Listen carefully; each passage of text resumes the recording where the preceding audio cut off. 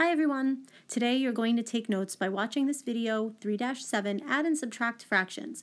Please watch the entire video and fill out the notes. I will be checking for them tomorrow.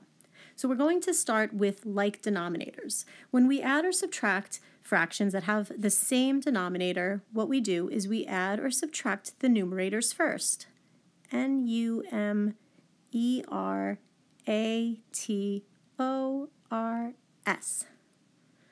We keep the denominator the same and simplify the fraction if possible. So you can see here in this diagram, this is just using letters instead of numbers. But let's take a look at an example. Take a moment to write down the example 6 and 3 ninths minus 4 and 1 ninth. Since both fractions have the same denominator of 9, we are allowed to subtract. So our first step is to take a look at the whole numbers and subtract the whole numbers. 6 minus 4 gives us 2. In step 1, we add or subtract the numerators. In this case, 3 minus 1 gives us 2. And step 2 says to keep the denominator the same. You cannot simplify 2 ninths, therefore our answer is 2 and 2 ninths. But what happens when our fractions have unlike denominators. Let's look in the middle column. Starting at number 1, find the common denominator using either the ladder method to find big L, or you can even list out the multiples.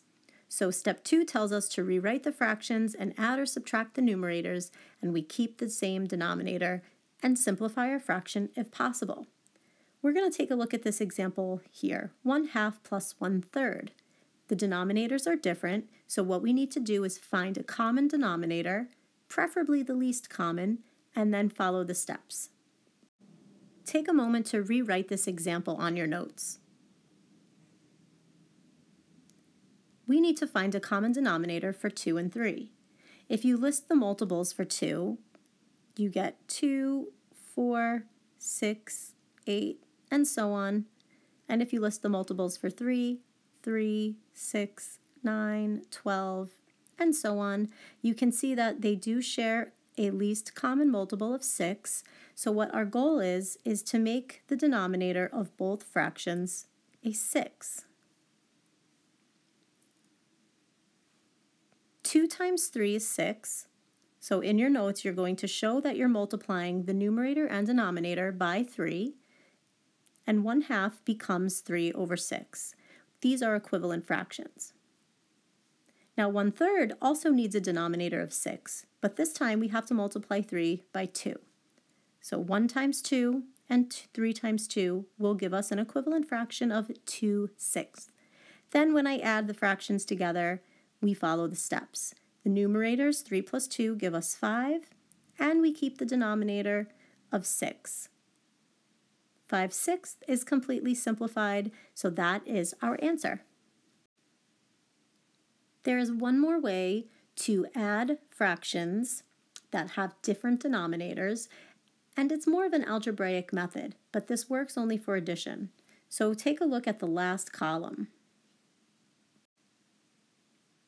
In step one, we cross multiply. So if you look at the example, we have 2 and 3 that are across from one another, and 2 times 3 is 6. Then we can cross multiply 5 times 1 to get 5.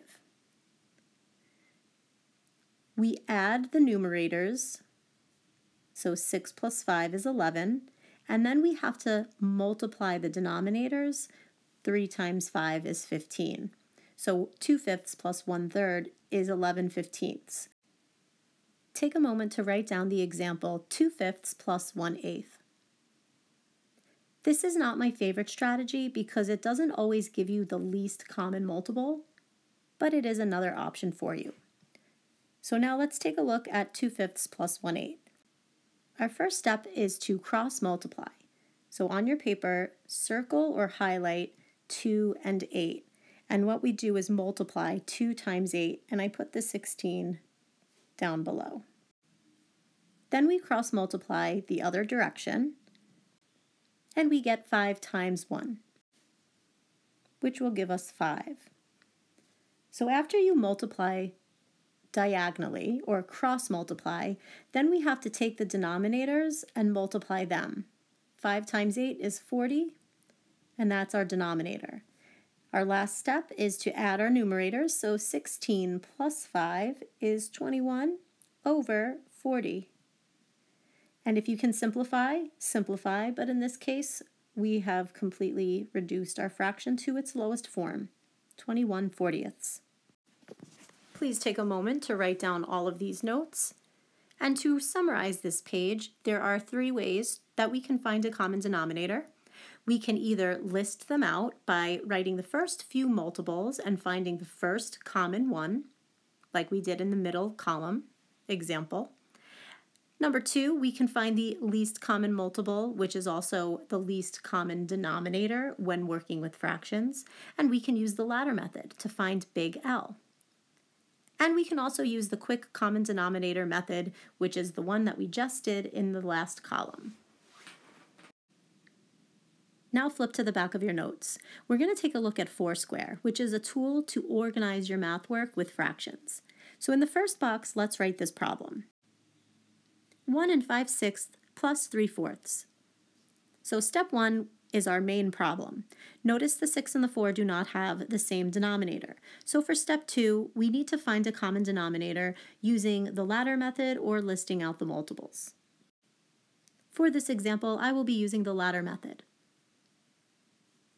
So a common factor that will evenly divide into 6 and 4 would be 2. 6 divided by 2 gives us 3 and 4 divided by 2 gives us 2. We make the next ring of the ladder, and because 3 and 2 only have a common factor of 1, we know we can stop. From here, since we're finding the least common multiple, we have to multiply big L. So finish your ladder and highlight big L. The least common multiple is found by multiplying the numbers in big L. So 2 times 1 times 3 times 2. 2 times 1 is 2, 3 times 2 is 6, giving us a least common multiple of 12. Now I know what to change my two denominators to. In order to get the 6 and the 4 to become a 12, we need to think about what number can we multiply those two denominators by to make 12. So let's start with 1 and 5 sixths. 6 times 2 is 12, and whatever you do to the denominator, you do to the numerator. So our new fraction can be rewritten in step 3 as 1 and 10 twelfths. 1 and 5 sixths and 1 and 10 twelfths are equivalent fractions, they just look different. For 3 fourths, in order to get 4 to become 12, we need to multiply 4 by 3, and we multiply 3 by 3, giving us, instead of 3 fourths, 9 twelfths. These are also equivalent fractions. The last step of Foursquare is to simplify your answer, so let's first figure out what our answer equals. I have a whole number, 1. I add my numerators, 10 plus 9, which is 19, over the denominator 12. But wait, this is, a, this is an improper fraction within a mixed number. So what we need to do now is take 19 twelfths and rewrite it. So 12 fits into 19 one time with 7 twelfths remaining. Then I take my whole number and add them together. So my final answer in simplest form is 2 and 7 twelfths. Please make sure that you have all of these notes as I will be checking for them tomorrow. Now it's your turn.